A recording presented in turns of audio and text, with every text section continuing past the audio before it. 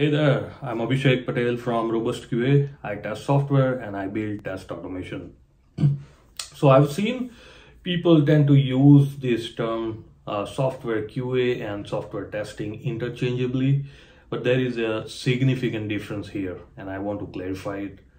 So software testing is just testing the software, finding the bugs, reporting the bugs, and just giving the status of the existing application, like overall health of the application or quality of application. While on the other hand, QA is like entering the proper process uh, from start to the end in order to provide a confidence that every steps or process were followed to ship the quality product. You see the difference?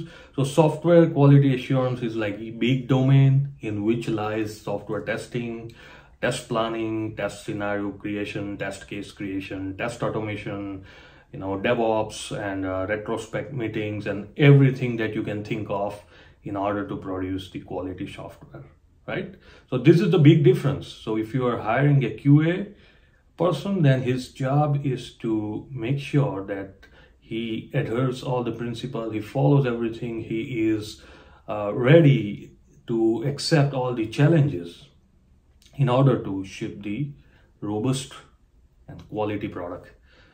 Yep, that's it in this video. Uh, see you next time.